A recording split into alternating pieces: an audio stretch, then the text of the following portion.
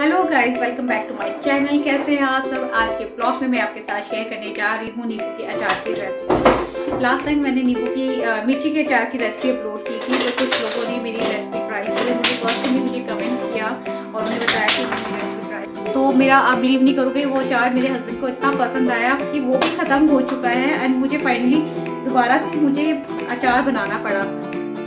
जो मिर्ची का चार क्यूब स्कर्ट में बनाया था, इस बार मैंने लंबे लंबे में बनाया है।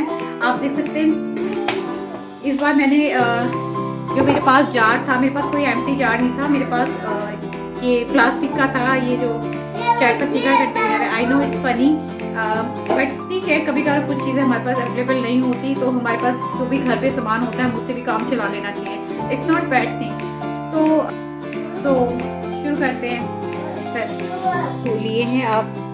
जो भी साइज़ आपको मिले मार्केट में आप उसे ले सकते हैं। एंड नींबू अचार बनाने के लिए जो हमें चाहिए मसाले खड़े मसाले वो चाहिए मैं आपको दिखा देती बता देती हूँ। साबुत धनिया जीरा और अजवाइन। काली मिर्च साबुत।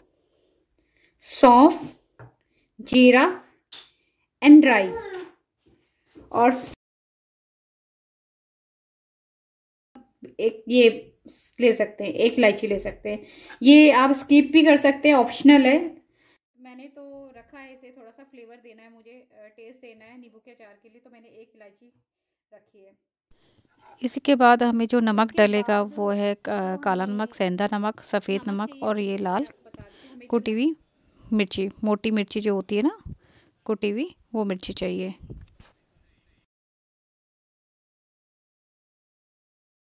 पहले नींबू को मैंने धो लिया है इसको अच्छे से ड्राई कर लिया है। उसके बाद फिर हम नींबू को कट करेंगे। आप कोई भी शेप दे सकते हैं नींबू को। नींबू का अचार बनाना है तो कोई भी आप शेप दे सकते हैं।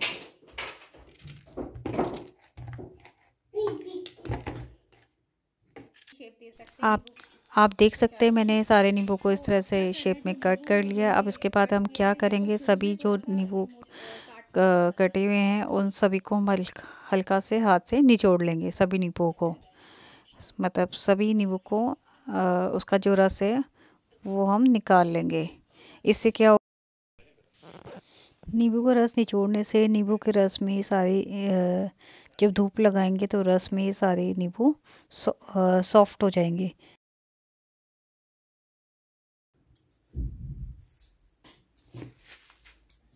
उसके बाद हम एक कढ़ाई लेंगे नींबू कट करने के बाद।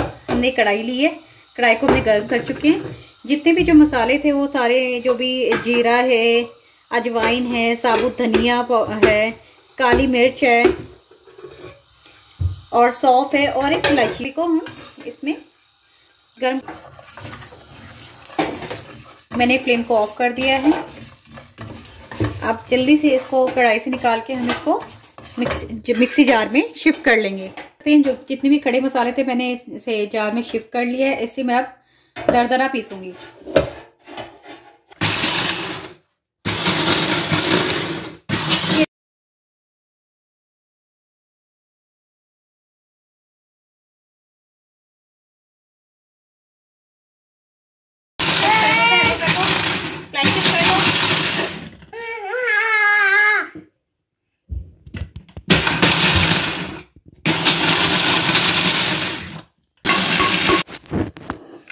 देख सक हाय देख सकते हैं मसाला ये मेरा ग्राइंड हो चुका है।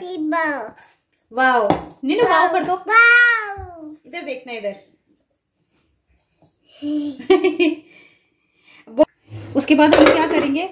जो ये मसाले हैं मैंने जो ये ग्राइंड किया था इस ग्राइंड मसालों को इसके अंदर फैलाएगा जितना आपको लगे शुरू में पहले देख लीजिएगा। उसके बाद मैं इसमें अंदर मिक्स कर लूँगी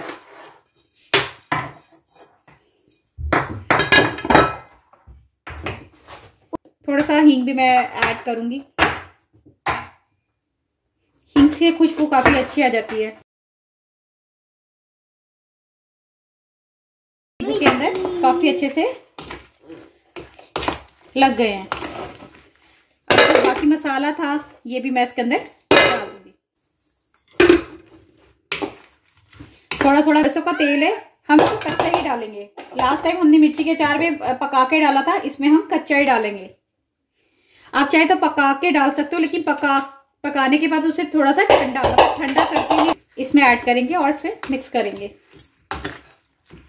ध्यान रखना इसमें हल्दी नहीं डालनी है आपको। ये हमारा नींबू का चार रेडी हो चुका है। इसे हमें दूध देनी है। दो तीन दिन चार दिन मतलब एक हफ़्ता जो भी आपको दूध दे, में देना चाहो दे सकते चीनी ऐड करेंगे खटास को इन्हांस करने के लिए। अच्छे से मिक्स करेंगे उसके बाद के अचार में ऐड करनी है। खटास को थोड़ा इन्हांस करने के लिए।